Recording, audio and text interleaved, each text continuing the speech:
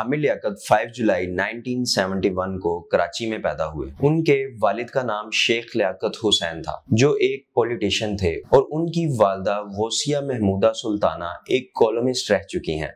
उनका एक भाई भी है, जिनका नाम इमरान लियाकत है। आमिर लियाकत एक पाकिस्तानी होस्ट, पाकिस्तानी पॉलिटिशियन और कॉलमिस्ट भी रह चुके हैं और पाकिस्तान की सौ मशहूर पर्सनैलिटीज में से एक है। लियाकत ने एक इंटरव्यू में बताया था कि उन्होंने 1995 में एमबीबीएस लियाकत मेडिकल कॉलेज से किया। 2002 में पीएचडी ट्रिनिटी यूनिवर्सिटी से की, जो कि असल में स्पेन में वाक़ है, लेकिन वो इनकॉर्पोरेट है डोवर डेलवर के साथ। उन्होंने इस्लामिक स्टडीज़ में मास्टर्स भी इसी यूनिवर्सिटी से किया। 2002 में इलेक्शन में खड़े होने वाले कंटेस्टेंट्स के लिए बीए की डिग्री होना ज़रूरी थी। लेकिन जिस यूनिवर्सिटी ट्रिनिटी से वो डिग्री ली थी 2003 में पता चला कि वो यूनिवर्सिटी फेक डिग्रीज बना के देती थी, जिसकी बाद में तस्दीक भी हुई और 2006 में आमिर लियाकत की डिग्री को जाली करार दे दिया गया। इसके बाद 1995 में उनकी एमबीबीएस की डिग्री को भी जाली समझा जाने लगा, क्योंकि अगर वो डिग्री होती तो इंतहाबात में हिस्सा लेने के लिए बीए की जाली डिग्री की ज़रूरत पेश ना आती। आमिर लियाकत हुसैन एक बहुत टॉप रेटेड टीवी एंकर रह चुके हैं और पाकिस्तान की सौ मशहूर पर्सनैलिटीज में से एक हैं और तीन बार 500 most influential Muslim world wide की लिस्ट में भी आ चुके हैं। आमिर लियाकत ने अपने टेलीविज़न कैरियर की शुरुआत जियो टीवी से 2001 में की।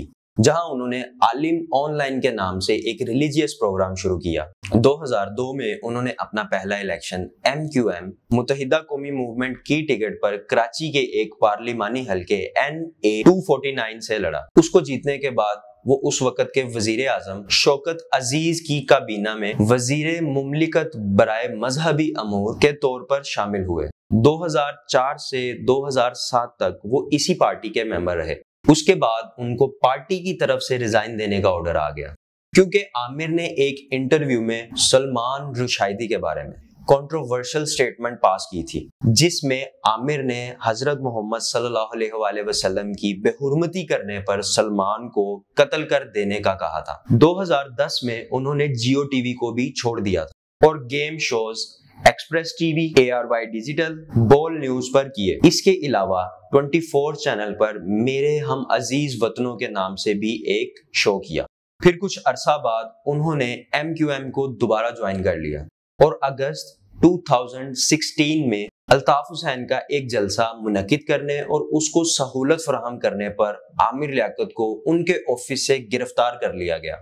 क्योंकि उस जलसे में मिलिट्री स्टैब्लिशमेंट और सिक्योरिटी एजेंसीज के खिलाफ नारे लगाए गए थे।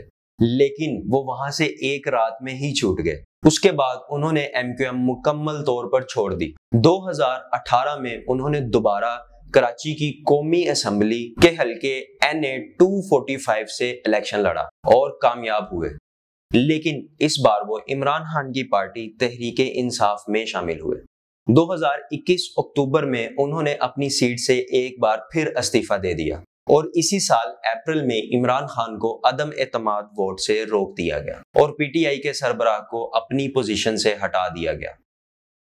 2008 में आमिर लियाकत ने एक शो के दौरान नफरत अंगेज कमेंट्स दिए, जो कि माइनॉरिटी कम्युनिटी के खिलाफ थे और कहा कि उनको कत्ल कर देने के लिहाज से हमारा फ़र्ज़ बनता है। 2011 में एक शो के प्रेजेंटर होने के नाते बाकी बैठे कंपेनियंस के साथ वल्गर और अब्यूसिव लैंग्वेज में बात करते हुए पाए गए। ये वीडियो सोशल मीडिया के थ्रू वायरल हुई। इसके अलावा 2013 में रमज़ान ट्रांसमिशन में बे औलाद जोड़ों को बच्चे भी दिए। उसके बाद एक जाना माना शो इनाम घर जो कि 2014 में शुरू हुआ। उसकी मेजबानी आमिर लियाकत ने की। 2016 में Pakistani regulatory media authority PEMRA ने 6 जून के एपिसोड के बाद उस शो की मेजबानी करने से तीन दिन तक रोक दिया गया। क्योंकि उन्होंने एक लड़की की खुदकुशी को अफसोसनाक तरीके से दोबारा पेश किया। 2017 में बोल के एक शो ऐसे नहीं चलेगा की मेजबानी करते हुए सिविल सोसाइटी के कारकुन और ब्लॉगर के खिलाफ मज़हब की तोहीन के लिहाज से इल्ज़ाम लगाए जिसकी वजह से पैमरा ने इन पर पाबंदी लगा दी थी। इसके बाद वकील जिब्रान नासिर ने भी आमिर लियाकत के खिलाफ शिकायत दर्ज करवाई थी। जिब्रान का कहना था कि आमिर ने उनके खिलाफ जानलेवा मुहिम चलाई है। 2017 नवंबर में उन्होंने बोल टीवी से ट्विटर पर इस्तीफा दे दिया। जिसमें इनके अपने सबका एम्प्लॉयर पर वाजिबात ना अदा करने और मुख्तलिफ़ लोगों के खिलाफ तो हिन्ह मज़हब के इल्ज़ाम लगाने पर ज़ोर देने के इल्ज़ाम लगे। और इसी साल आमिर लियाकत पर तमाम टेलीविज़न, मीडिया और किसी भी किस्म का प्रोग्राम करने पर सख्त पाबंदी लगा दी गई। वजह यह बताई गई कि उन्होंने अपने असर रसूख का गलत इस्तेमाल करते हुए नफरतें फैलाई हैं। पैमरा ने 2018 फरवरी को इन पर से ये इल्ज़ाम हटा दिया गया। लेकिन सिर्फ़ दो माह बाद बैन दोबारा लगा दिया कि 30 दिन तक वो किसी भी टेलीविज़न प्रोग्राम का हिस्सा नहीं होंगे, क्योंकि उन्होंने पैमरा के ऑर्डिनेंस की खिलाफ वर्जी की थी। इस पर पाकिस्तानी मीडिया रेगुलेटरी अथॉरिटी ने एक नोटिफिकेशन में कहा कि आमिर ने एक रमज़ान ट्रांसमिशन में गुजरात से एक लाइव कॉल ली थी। जिस पर कॉल करने वाले ने मुतनाज़ा मजहबी सवाल उठाए, जिसको बगैर किसी तामीर तखीर के आमिर लियाकत हुसैन ने इसको टीवी पर नशर किया। पैमरा का ये भी कहना था कि सिर्फ़ और सिर्फ़ शो की रेटिंग बढ़ाने और सनसनी फैलाने के लिए मज़हब के नाम पर यह सब तमाशा हुआ है, जिसने कई लोगों के जज्बात को तकलीफ़ पहुंचाई है। आमिर लियाकत ने तीन शादियाँ की, जिनमें से पहली बीवी का नाम सैयदा बुशरा आमिर था। जिनसे उनके दो बच्चे, दुआ आमिर और अहमद आमिर हैं। 2018 में उनकी शादी सैयदा तूबा अनवर से हुई, जो तीन साल तक चली। फिर 2022 की फरवरी में उन्होंने अपनी तीसरी शादी एक 18 साल लड़की दानिया शाह से की, लेकिन दानिया ने मई 2022 में डाइवोर्स के लिए अप्लाई कर दिया। और ये इल्ज़ाम लगाया कि आमिर लियाकत नशे के आदि हैं और उन पर तशद भी करते हैं। इसके बाद दानिया ने उनकी पर्सनल ज़िंदगी की कई वीडियोस भी शेयर की, जो कि इंतहाई काबिल मजम्मत बात है। इससे पहले 2021 में हानिया खान ने भी आमिर लियाकत की बीवी होने का दावा किया था, जिस पर उन्होंने निकाह नामा भी शेयर किया, जिसकी आमिर लियाकत ने तरदीद की। आमिर लियाकत की नेटवर्थ एक से पाँच मिलियन डॉलर के दरमियान है और कार्स में टोयोटा क्रोला क्रॉस और मोटरसाइकिल्स में C B three hundred F शामिल है।